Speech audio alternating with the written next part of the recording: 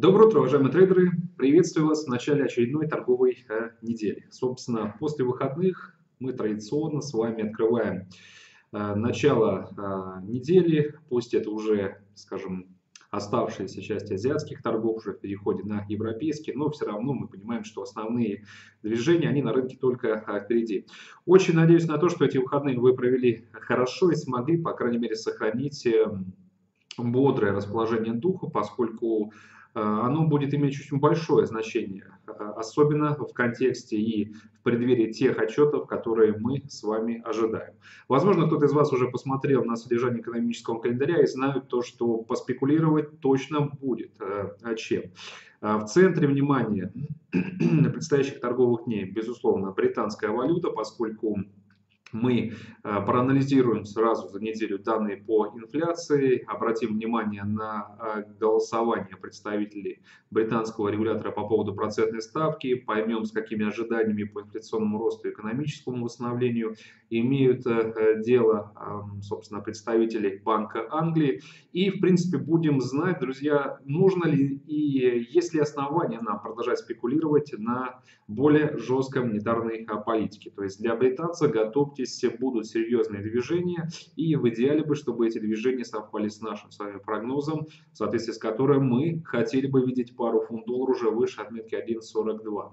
А британская валюта, при всем, а, собственно, уважении к тем движениям, которые мы ожидаем, может все-таки уступить по а, динамике движению доллара, потому что собственно, уже в среду заседание ФРС, которое, как вы помните, для нас имеет очень большое значение, поскольку в этот раз мы ждем фактическое решение ФРС относительно повышения ставок. Как и всегда, шаг, в принципе, размеренный, 25 байсных пунктов и, соответственно, по ожиданиям ставка 1,75.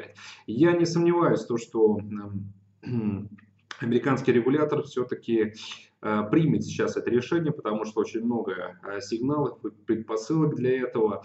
Мы долго уже шли к этому мартовскому заседанию, и 100%, как вероятность с нами уже была обозначена, осталось только дождаться фактически самого решения и послушать, что же э, скажет руководство ФРС. Безусловно, нас интересует комментарий Джерома Паула, который классически даст пресс-конференцию. И основной вопрос, на какое количество подобных э, шагов нам стоит ориентироваться до конца этого года. Я думаю, что разочаровать нас в принципе невозможно, потому что при худшем раскладе представители ФРС э, обозначен готовности трех повышений процентной ставки. В идеале бы, конечно же, если э, речь пошла бы о четырех. Но будем э, пока что э, довольствоваться малым. И все равно даже перспектива трех повышений это более чем достаточно, чтобы сохранить нас в числе покупателей доллара и в частности оставить на его рост против рисковых инструментов. Это очень важная ремарка и поправка, потому что мы до сих пор не можем скажем, наблюдать и рассчитывать на ту положительную динамику доллара против защитных компонентов, ну, в парах э, доллар-иена, доллар-франк, потому что знаем, что тот э, новостной фон, который сложился сейчас, э, больше все равно при ожиданиях ухудшения новостного фона, роста, опять же, эскалации, напряженности, в том числе и политической в США, может снова спровоцировать повышенный спрос на иен. Поэтому, если мы посмотрим на пару доллар-японская иена, действительно, это тот дуэт активов, который пока не развивает восходящую динамику и более того сохраняет даже шансы и потенциал для того, чтобы просесть еще серьезнее. Но я думаю, что у нас будет с вами очень много времени, чтобы детально разбирать э, этот новостной фон э, на этой неделе. А сегодня мы э, открываем неделю. Классический понедельник каких-либо интересных отчетов нету, поэтому основные релизы они начинаются уже со вторника. Будем их ждать, друзья. Будем держать руку на пульсе и будем э, стараться э, вовремя предугадать те движения, которые могут на рынке э, произойти. Ну а теперь давайте чуть подробнее остановимся на основных инструментах. Сейчас я вкратце пробегусь по ним. Для более подробной информации с огромным удовольствием приглашаю вас сегодня всех на вебинар, который состоится в 16.30 по московскому времени. А снова будем а, разбирать события прошлой недели, чтобы а, продолжить э, и сохранить э, этот посыл преемственности, потому что для нас, фундаменталистов, важно понимать, с чем мы работали раньше, потому что знание новостного фона, который сложился скажем, несколько недель назад или даже месяцев, это часть ответов на а, те вопросы, которые касаются перспектив инструментов в будущем. Вот как раз мы и следим за этой преемственной фундаментальной картиной. Надеюсь, то, что а, вы, а, кто постоянно присутствует на брифингах, как никто, знает, что с инструментами происходит и в принципе, каких долгосрочных посылов, ориентиров можно придерживаться. Нефтянка, клосс 66.12 заключительной сессии прошлой недели, то есть эм, Ушли мы по бренду выше отметки 65, сегодня с небольшим гэпным открытием котировки 65.82. Но я думаю, что мы все равно можем говорить о том, что бренд торгуется в районе 65, как это было раньше. И как мы верно а, заметили, я думаю, что будем использовать эту формулировку и дальше, то, что перетягивание каната между а, ОПЕК и Соединенными Штатами Америки, между сверхпредложением со стороны Штатов и а, более потенциально высоким спросом со стороны мировой экономики, эти два новостных фона будут бороться. И, собственно, если вы задаете вопрос, почему мы выросли в пятницу, честно говоря, я бы даже затруднился конкретный ответ, потому что у нас был в пятницу отчет Baker Hughes по количеству нефтяных э, терминалов. Это очень важный релиз, такой же важный, как и отчет администрации аналитической информации. То есть, э, получая цифры по количеству терминалов, мы, в принципе, рассуждаем о том, а будет ли э, в связи с этим наблюдаться прирост в нефтедобыче. Итак, вот, у нас по Baker Hughes снова увеличение. Вернулись мы к юбилейной планке в 800 единиц, плюс 4 единицы, соответственно, за неделю. Но трейдеры эту статистику не отыграли. И более того, котировки нефти не только не просели, а выросли. Я бы сейчас э, не э, коем случае не позволил бы себе даже дать рекомендацию о том, что нужно рассматривать длинные позиции по нефти, потому что это в корне противоречит тому фундаменту, который сейчас сложился. Друзья, мы работаем со штатами, мы работаем с еженедельными показателями, указывающими на то, что производство продолжает увеличиваться. Напоминаю, что только на прошлой неделе у нас снова э, был э, прирост на 20 тысяч единиц, это чуть меньше, чем несколько недель назад, но все равно благодаря даже такому приросту мы э, вместе со статистами э, из США, которые анализируют совокупные объемы добычи, коснулись снова рекордного максимума в 10.38. И дальше будет, э, уверен, еще больше рост, потому что количество терминалов Baker Hughes, буровых, сланцевых платформ, как угодно, располагает к этому. Не забывайте про прогнозы администрации аналитической информации. В апреле у нас прирост э, по сланцевому производству может э, составить 131 тысячу. Я думаю, что показатель будет даже выше, соответственно. Штатам мы, как и раньше, отводим роль эм, основного региона, э, да и в целом производство в Штатах это риск для всего рынка черного золота. Потому что при оценке совокупного спроса со стороны мировой экономики, я думаю, что вы не забыли цифры, я приводил э, вам эти доводы со ссылкой на официальное ведомство, вы должны были усвоить, уяснить тоже, как угодно можно сказать, то, что э, спроса со стороны мировой экономики все равно будет недостаточно, чтобы покрыть э, то предложение, которое мы ожидаем со стороны США. И поскольку у нас есть конкретное подтверждение в виде статистики, что производство увеличивается, я думаю, друзья, мы по-прежнему можем говорить э, о том, что э, эти высокие показатели нефтедобычи будут вынуждать представителей ОПЕК э, отказываться от стопроцентного соблюдения обязательств. И в конечном счете, возможно, к июньской встрече мы с вами уже подойдем с официальными данными от ОПЕК, что многие регионы скажем, не в полной мере соблюдает свои квоты. И, как вы помните, Иран уже готов поднять вопрос о досрочном сворачивании вообще всего этого энергетического пакта. Э, может быть, э, это произойдет даже раньше июня, но совершенно очевидно, что Штаты продолжают покрывать э, объемами поставок все большую и большую часть ценного азиатского рынка. И очень больно смотреть на это представителям ОПЕК, потому что они фактически теряют свою долю. Я думаю, что нервы у них, скорее всего, не железные, кто-то даст слабину раньше. И при появлении первого прецедента, когда, ну, возможно, Саудовская Аравия, либо Иран будут добывать уже гораздо больше нефти, чем а, сейчас, э, для нас э, станет хорошей новостью, потому что на фоне э, ну, такого информационного фона мы будем Э, делать ставку на еще больше распродажи.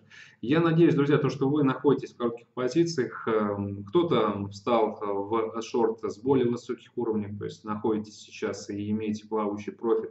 Может быть, кто-то принял решение о продажах э, на значениях пониже, но э, все равно вот этот ориентир он верен, потому что на таком фундаменте а, покупать, э, я думаю, что весьма опрометчивое решение. Надеюсь, что мне отчасти удалось вас а, убедить, э, примкнуть к стране продавцов. Рубль 57.50, э, тема с выборами позади, соответственно, какое-то время, может быть, пару дней рынок еще будет э, резонировать на э, данной э, тематике, но в целом рубль уже дает слабину, даже при том, что котировки выросли. Я думаю, что наблюдая сейчас уровни 57-50, мы в целом можем, как и раньше, ориентироваться на Э, те э, уровни девальвации, которые были обозначены нами в качестве цели. Это 59, либо даже выше. То есть времени до их достижения остается все меньше. А для тех, кто медлил с принятием решения о том, чтобы купить валюту против рубля, соответственно, времени остается еще меньше. Но есть еще, поскольку даже если эм, прикинуть, что девальвация составит еще 2,5 рубля, то есть э, фактически больше около 5% заработка, это без плеча. Я думаю, что достойная цель, особенно с учетом краткосрочных ориентиров.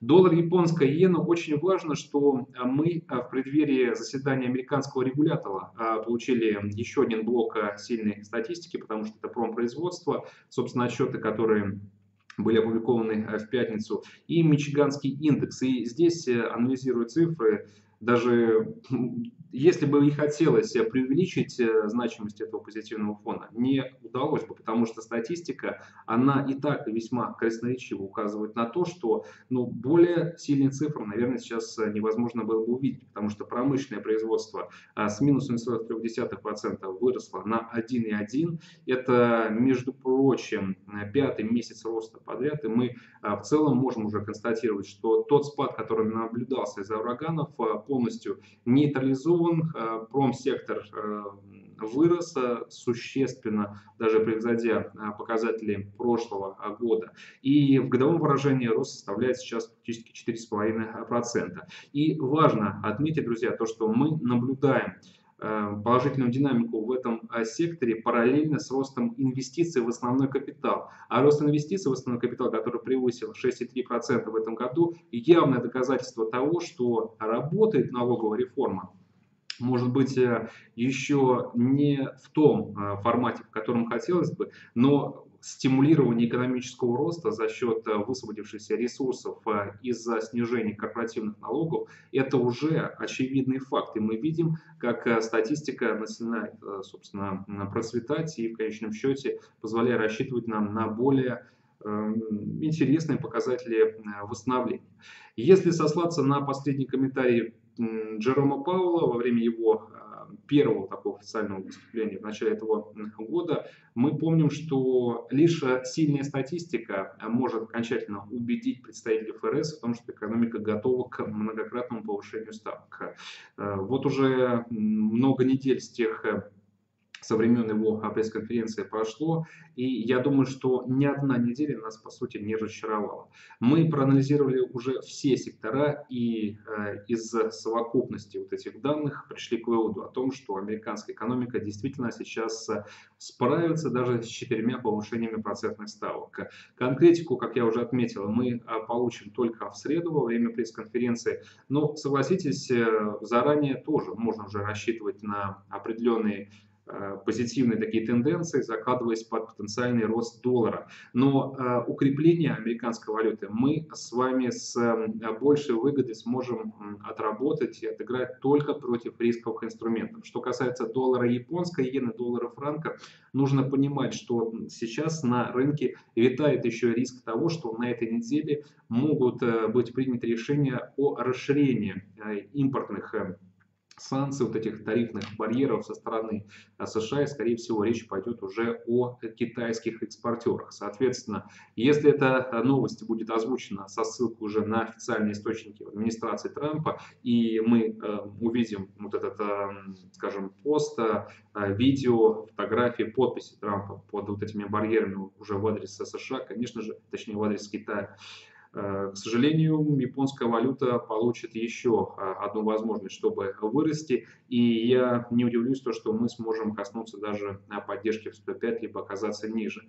То есть сейчас э, на фоне вот этого из-за вот этих рисков, которые являются актуальными, Э, рекомендую быть крайне осторожными в торговле э, доллара против защитных инструментов, потому что э, даже несмотря на поддержку, которая есть для доллара, с учетом новостного фона, который мы проанализировали, доллар будет не в силах, чтобы побороть преимущество защитных конкурентов. А вот против риска будем отыгрывать эм, даже с еще большим интересом потенциальное укрепление доллара. Ну и, собственно, теперь, переходя к рисковым активам, евро у нас снижается. Уверен, что до конца этой недели эта динамика будет сохранена. Во-первых, потому что мы еще резонируем, даже если опустить э, доллар от последних э, комментариев председателя Европейского центрального банка Драки, который не разочаровал нас э, трейдеров, которые ждали намеки на мягкую экономическую политику, и подтвердил то, что никаких разговоров о сворачивании программы количественного смещения, вообще об ужесточении сейчас э, быть и не может. И э, плюс ко всему мы еще в пятницу получили отчет по индексу потребительских цен еврозоны. Спад в очередной раз, друзья, тоже как мы ориентировались и ожидали, с 1,2 до 1,1%. Соответственно, эта статистика подтверждает все опасения Европейского центрального банка и полностью еще раз э, делает такой эм, акцент на комментарий Драги о том, что политика будет оставаться мягкой ровно столько, сколько индекс потребительских цен подавлен. Сейчас мы работаем именно с подавленной инфляцией, а значит э, ставим на ослабление евро, потому что это правильная ставка с учетом проводимой монетарной политики. И очень э, хорошо, я думаю, что на этой неделе может отыграться идея контраста политик, потому что мы буквально в конце прошлой недели убедились в том, почему ЕЦБ должен сохранять э, программу э, количественного смягчения. И на этой неделе, в среду, убедимся в том, что ФРС, повысив ставку, будет по-прежнему привержен политики еще более высоких процентных ставок и продолжит движение на этом пути а, до конца 2018 года как минимум. Поэтому евро-доллар, я думаю, что можно даже замахнуться на коррекцию больше, чем на 150-200 пунктов. В идеале бы сделать цель 1.21. Фунт против американца. Здесь, друзья, тоже в начале я брифинга отметил, для тех, кто спекулирует фунтом, на этой неделе скорее всего, новостная картина будет явно способствовать покупкам, потому что мы э, завтра будем разбирать э, данные по инфляции, а в четверг э, будем работать с заседанием Банка Англии, где помимо решений о выкупе активов, о процентных ставок, нас будут интересовать еще прогнозы по экономическому росту инфляции, потому что эти прогнозы позволят нам понять, какого вектора политики придерживается больше, собственно, Банка Англии. А, прежде чем а, говорить о макроэкономической статистике, я хочу отметить, что на этой неделе состоится а, еще и заседание Европейского совета, э, не путайте, скажем, это событие со встречей Большой Двадцатки, потому что заседание Европейского совета, там будут подняты и обсуждаться совершенно другие вопросы, в том числе вопрос, касающийся Брекзита и переходного э, периода для Англии. И я по-прежнему, э, опять же, отсылаюсь к последним комментариям Терезы Мэй, премьер-министра Англии и переговорщиков из Европейского Союза, хочу напомнить вам, что нам неоднократно давали повод спекулировать на том, что эта а, встреча, это заседание Европейского Совета может быть прорывным для всей процедуры Брекзита. Поэтому мы ждем позитив для Англии. Этот позитив, скорее всего, должен Э, быть отыгран логичным образом, то есть привести к росту британца. И, пожалуй, фунт, как и неделю назад, это единственный рисковый инструмент, который сможет, исходя из национального фундамента, преодолеть потенциальную силу доллара и оказаться ну, более крепче. Помимо, собственно, заседания банка, а, точнее, помимо ожидания встречи а, и заседания Европейского совета, ориентируемся еще на четверг и ждем комментарий о том, что Банк Англии готов повысить процентную ставку до конца этого года. Я думаю, что а, нам не нужны даже конкретные сроки, просто вероятность таких изменений более чем достаточно, чтобы увидеть достаточно сильный и мощный ралли по паре фунта-доллар. Доллар-канадец, статистика, которая является отголоском крайне необдуманных действий Банка Канады по росту процентных ставок, дает о себе знать э, вот этим тотальным негативом объем производственных поставок. Это э, релиз, который мы разбирали с вами в пятницу. Здесь спад на 1%, с прошлого минус 0,1%. Э, причина резкое сокращение производства автомобилей. Ну, мне кажется, что понятно, с чем это связано. Явное свидетельство этого спада, низкие значения активности потребителя, о чем мы с вами уже говорили, и о рисках, которого также очень много рассуждал и сам Банк Канады. А какой вывод мы из этого делаем? То, что Банк Канады не будет более в ближайшей перспективе повышать процентные ставки, то есть выжидательная позиция сохранится и дальше. Мы еще ждем с вами снижения нефти и роста курса доллара. И четвертый фактор – это конкретика по поводу переговоров нафта. Тоже такой вопрос а, еще а, остается на повестке актуальным, в подвешенном состоянии, но я все равно ссылаюсь на усиление а, именно протекционизма со стороны США в том, что условия нового соглашения Североамериканского торгового альянса будут а, выгодны только американским производителям, только США. И, э, разумеется, крайне невыгодными для членов текущего партнерства, и Канада в их числе. Поэтому мы еще поработаем с долгосрочной слабостью канадца. Те, кто держит длинные позиции по паре USD большие молодцы, потому что профит растет с каждым днем. И я думаю, что пара USD сможет добраться даже до планки 1.35. Главное пока позиции держите. Я, собственно, буду информировать вас обо всем интересном, которое, что э, складывается по канадцу и имеет место быть на рынке, то есть ни одна интересная новость упущена не останется. Друзья, ну а что касается текущей торговой сессии, пожалуй, давайте готовиться а, сегодня к крайне мощным движениям предстоящих торговых э, сессий. Считайте, что сегодня у нас э, единственный спокойный день, поэтому можете подумать про риск-менеджмент, про правила управления капитала и подготовиться опять же к заседанию ФРС, к решению по процентной ставке и к супер движениям по факту супер четверга для британцев. Да, и еще в пятницу вот у нас статистика по инфляции в Канаде. Думаю, что ее также будет достаточно, чтобы понять и исходя из снижения индекса потребительских цен, насколько серьезной является проблема низких э, значений активности домохозяйств. Ну, это, собственно, статистика уже пятницу мы будем разбирать а, спустя а, неделю. Заведомо настраиваемся на распродажи канадца и на рост доллара, хотя об этом мы уже с вами поговорили. На этом, собственно, все. Большое спасибо за внимание. Удачной вам торговой сессии, такой же замечательной прибыли все недели. Буду держать вас в курсе. Увидимся сегодня на вебинаре в 16.30 по московскому времени. Ну а для тех, кто присутствует на брифингах, завтра, как и всегда, в 9.30 по Москве в прямом эфире. Спасибо, всего доброго, до свидания.